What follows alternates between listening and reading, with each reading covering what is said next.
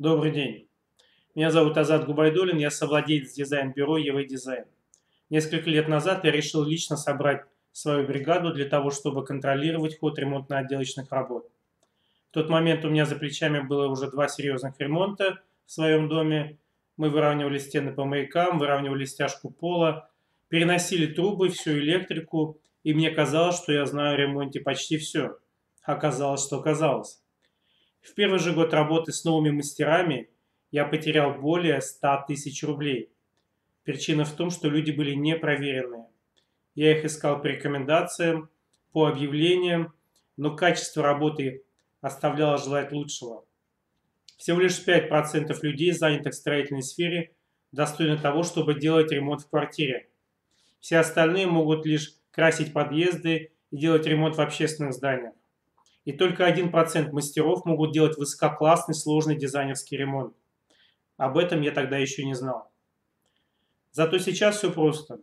Мне периодически звонят бригадиры в поисках объемов. Я задаю им буквально один-два вопроса. Как вы делаете это, как вы делаете то. И уже сразу ясно, кто передо мной, профессионал или временщик. Хотите так же? Смотрите урок профи за 3 минуты. Поехали.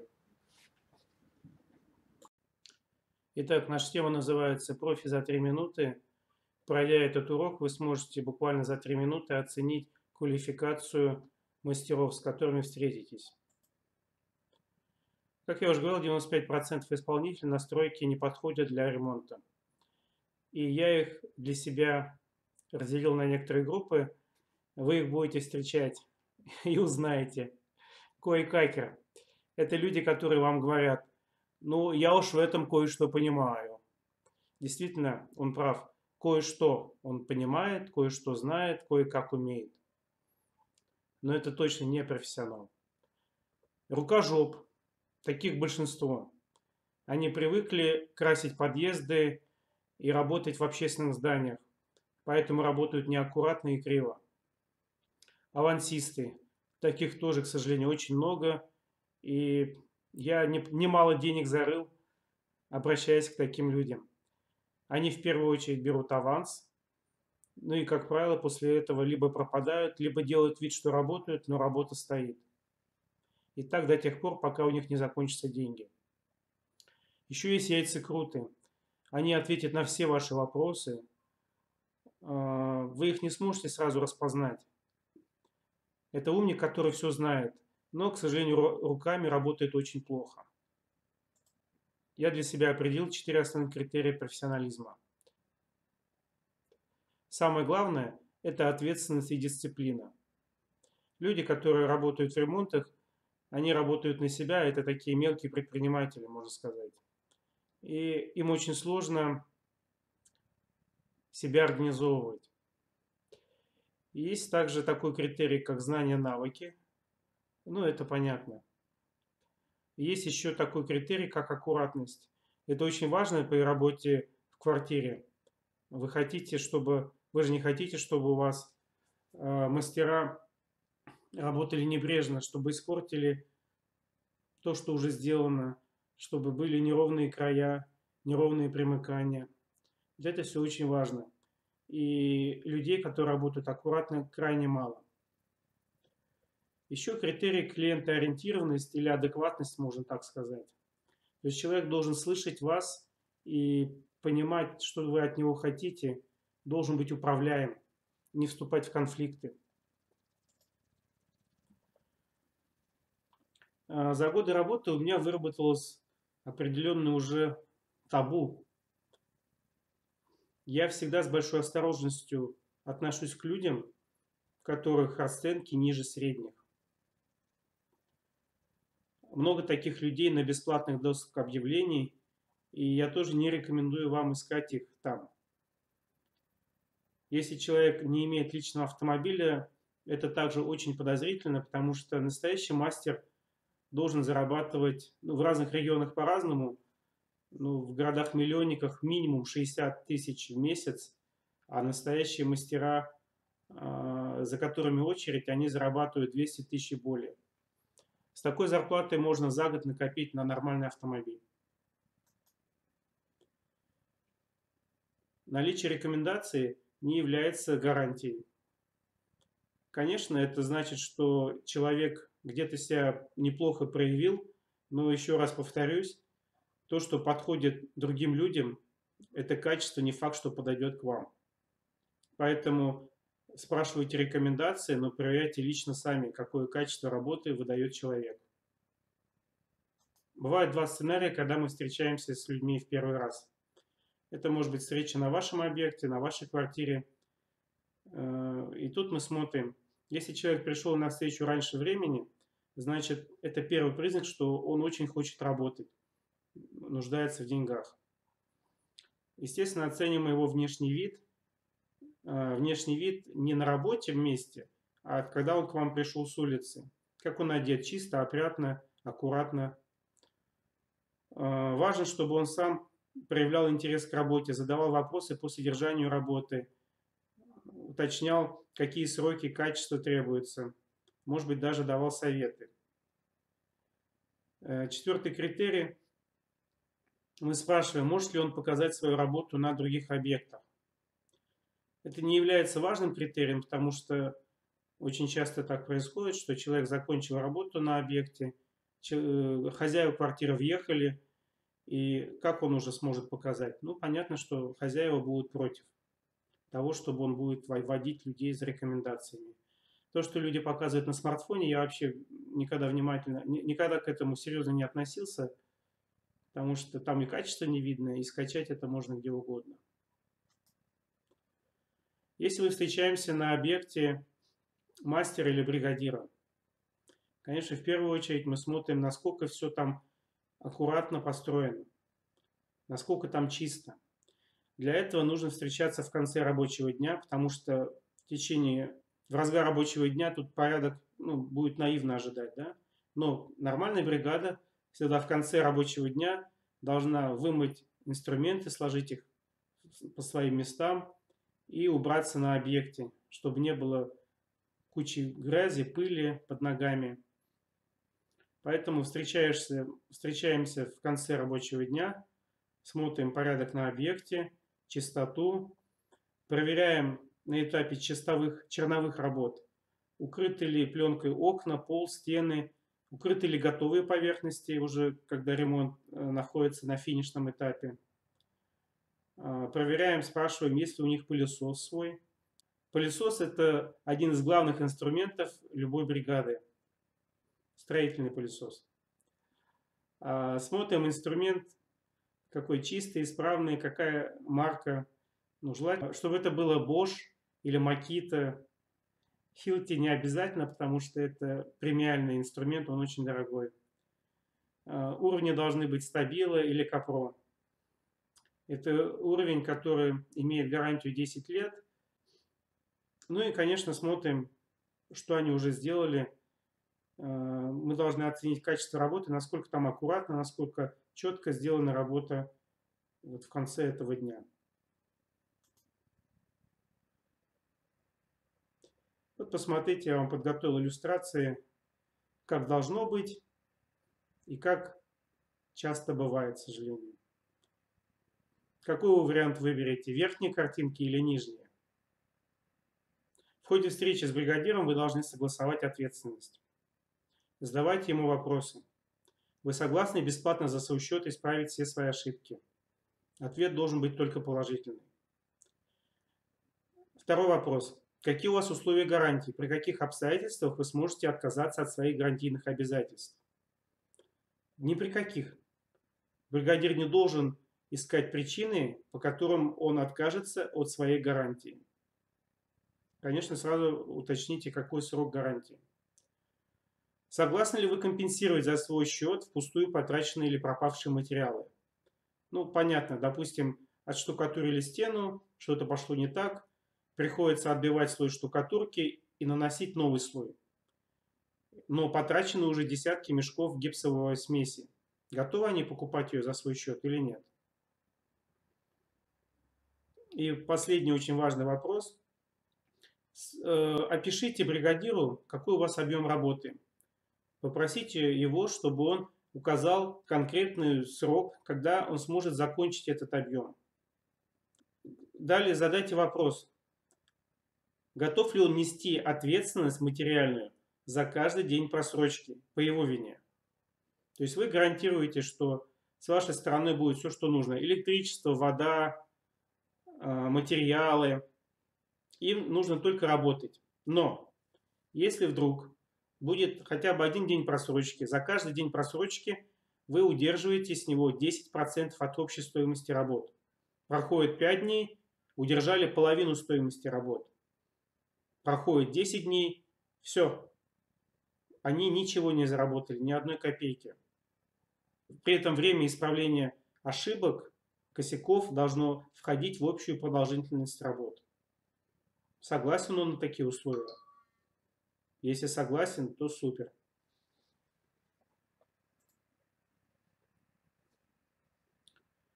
Личностные вопросы.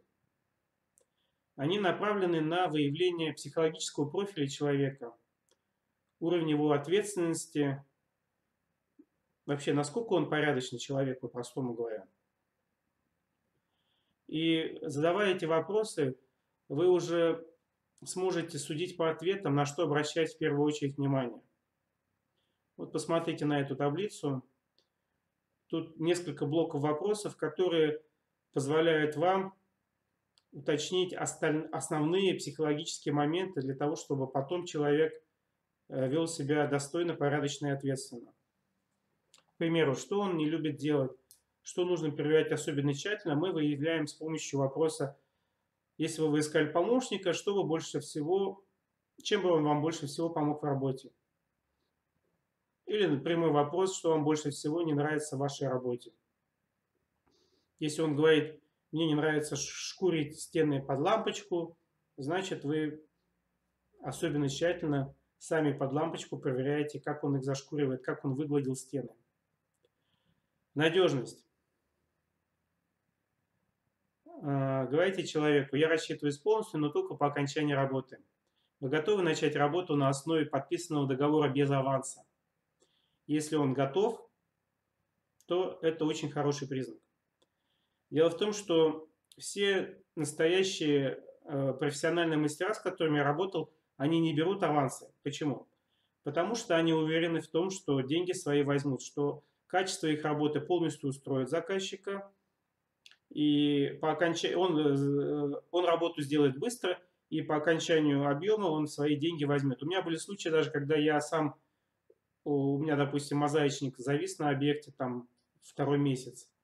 Я ему сам говорю, Сергей, ну возьми деньги. Он говорит, ладно, я вот сначала закончу, потом уже сразу весь объем, весь объем возьму. А, дисциплина, ответственность. Как строится ваш рабочий график? Вы не возражаете, если мы разместим на объекте веб-камеры, чтобы иметь постоянный ход, ну, контроль за ходом работ. Не обязательно размещать веб-камеры, я на самом деле довольно скептически отношусь к этой теме, но если человек здесь начинает юлить, мандражировать, это не очень хорошо. Честность. Почему на одних объектах воруют, а на других нет? Это такой очень тонкий проективный вопрос, который позволяет выявить готовность человека обманывать и воровать. Как вы думаете, какой должен быть ответ? Правильный ответ – дело не в объекте, а в человеке. Честный человек на любом объекте не будет воровать. Суть проективного вопроса в том, что когда человек рассказывает о каких-то абстрактных, казалось бы, вещах, о людях, он говорит на самом деле о себе. Если человек говорит, что на одних объектах ворует, потому что там плохой контроль, значит он, скорее всего, сам готов, если что, воспользоваться ситуацией.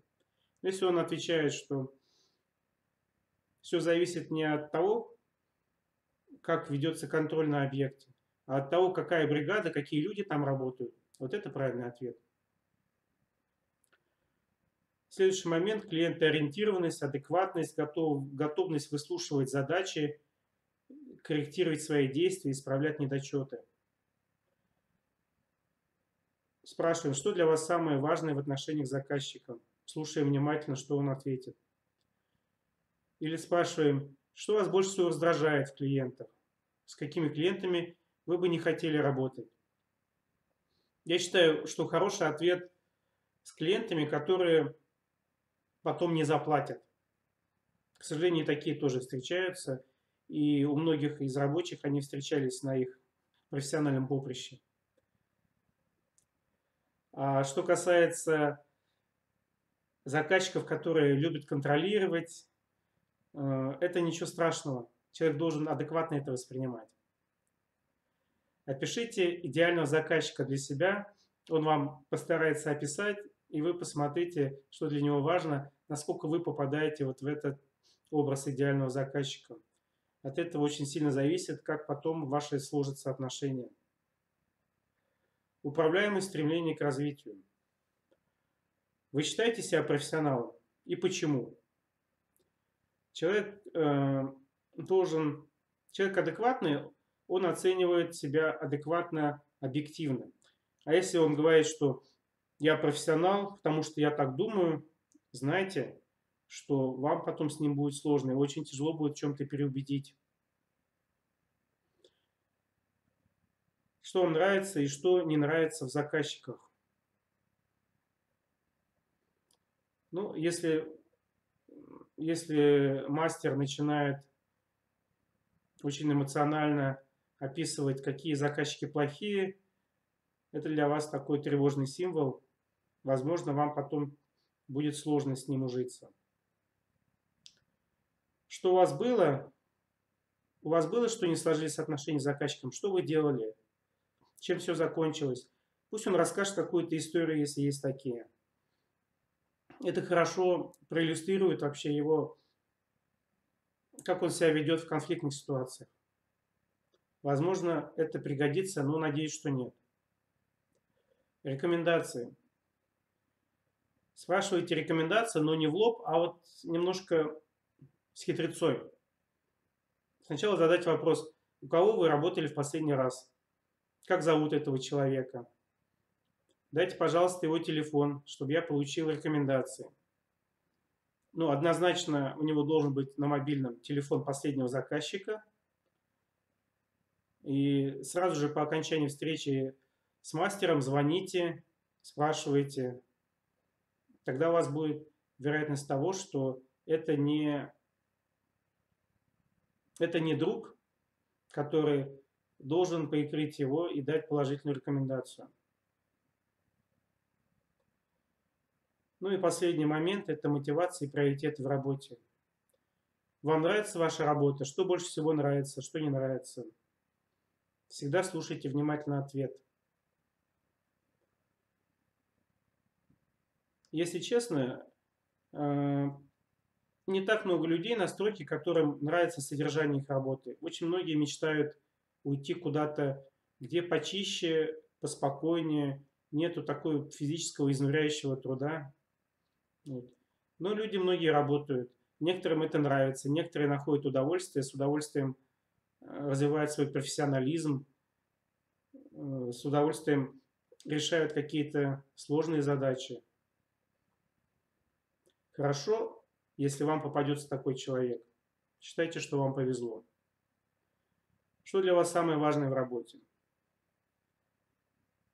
Что заставляет людей работать с полной отдачей, быстрее и лучше всех остальных? Это опять проективный вопрос, когда человек говорит о людях, он говорит на самом деле о себе. Но при этом у него отключается фильтр, и он бывает более откровенен, чем если бы вы задали вопрос, а что вас заставляет работать с полной отдачей. А, и когда он отвечает искренне, вы уже понимаете, а, какие условия нужно создать на работе для того, чтобы он работал реально с полной отдачей. Чем хороший мастер отличается от плохого? Тоже интересный вопрос. А, каждому человеку хочется быть хорошим, и вы оцените вообще, как он оценивает себя, как он оценивает свою работу, к чему стремится, и как он воспринимает себя и окружающий мир. на какое место он ставит себя среди своих коллег. Вопросы на знания. Я включил сюда несколько вопросов. На самом деле их можно подготовить несколько десятков по любой из тем. Стены, полы, потолок, инженерные сети. Ну, давайте посмотрим то, что сейчас есть. Вы вынимаете маяки в ходе штукатурки стен? Если да, то в какой момент? Ну, правильный ответ. Люди, которые работают по технологическим картам, должны вынимать маяки сразу же, как только слой штукатурки начинает схватываться. Мы говорим сейчас о гипсовой штукатурке. И нужно замазать штрабу тем же самым раствором. Тогда у вас не будет никаких следов от маяков. Тогда будет штукатурка прочной. Как вы скрепляете металлические профили для гипсокартона, когда монтируете перегородку? А, есть специальный инструмент, называется просекатель. Он пробивает отверстие в том месте, где два профиля соединяются.